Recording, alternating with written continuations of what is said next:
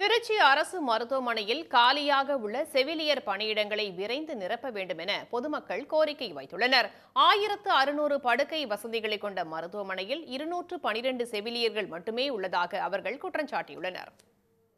திருச்சியில் உள்ள மகாத்மா காந்தி நினைவு அரசு மருத்துவமனையில் திருச்சி மாவட்டத்தில் மட்டுமின்றி அரியலூர் பெரம்பலூர் கரூர் உள்ளிட்ட அருகாமை மாவட்டங்களைச் சேர்ந்த மக்களும் சிகிச்சை பெற்று வருகின்றனர். தினமும் நூற்றுக்கணக்கானோர் உள்நோயாளிகளாகவும் புறநோயாளிகளாகவும் சிகிச்சை பெற்று வரும் இந்த மருத்துவமனையில் ஆயிரத்து அறுநூறு படுக்கை வசதிகள் உள்ளன.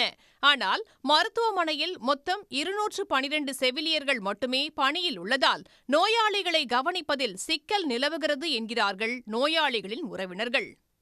இந்த மருத்துவமனையில் வந்து செவிலியர்களை வந்து பணியமர்த்தப்படுவது வந்து காலதாமதம் செய்வதுங்கிறது இங்கே இருக்கக்கூடிய நோயாளிகளுக்கு ஒரு பெரிய தாமதத்தையும் சிகிச்சையில் இருக்கக்கூடிய அந்த இது வந்து ரொம்ப தாமதமாகுது. அதனால் வந்து அரசு வந்து இதன் மீது உடனடியாக கவனம் செலுத்தி செவிலியர்களை வந்து உடனடியாக பணியமர்த்தக்கூடிய பணிகளில் தமிழக அரசாங்கம் ஈடுபட்டால்தான் இந்த பகுதியில் இருக்கக்கூடிய சாதாரண ஏழை எளிய மக்களுக்கு ஒரு சிறப்பான மருத்துவ சிகிச்சைங்கிறது கிடைக்கும்.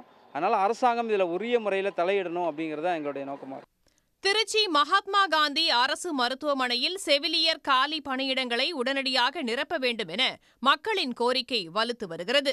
செவிலியர்களை தேர்ந்தெடுக்கும் பணி நடைபெற்று வந்த நிலையில் கொரோனா காலத்தில் தற்காலிகமாக பணியாற்றிய செவிலியர்களுக்கு முன்னுரிமை வழங்க வேண்டும் என நீதிமன்றத்தில் சிலர் வழக்கு தொடர்ந்துள்ளனர்.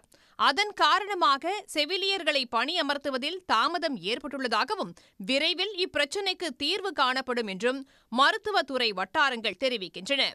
சன்யூஸ் செய்திகளுக்காக திருச்சியிலிருந்து ஒளிப்பதிவாளர் காலிங்ஸுடன் செய்தியாளர் முஜாஹிதுல் இஸ்லாம். உடனுக்குடன் செய்திகளை தெரிந்து கொள்ள சன் நியூஸ் பெல் ஐக்கான கிளிக் பண்ணுங்க.